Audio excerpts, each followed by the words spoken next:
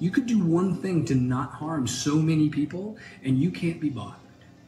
So, whatever principles anyone wants to put in front of me at this point, the only one that I care about at this moment is whether you have a fucking mask or you don't. And if you don't, then I have zero time.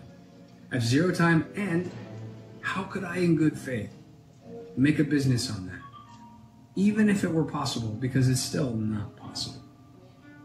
And even if it were not risky, and it is still very risky, it's risky to have those people around. They're a danger. They're a danger to others. And so I can't have a bar full of people who are dangerous. Even in Texas, you're not allowed to have guns in bars. Even in Texas. Why would I have a bar where I'm just like, all right, you guys are all strapping, like this this will probably go fine. You're like, okay, you know, every day you look at it, you're like, went fine yesterday, cool, what about today? Every day you wake up and you're like, today might be the day.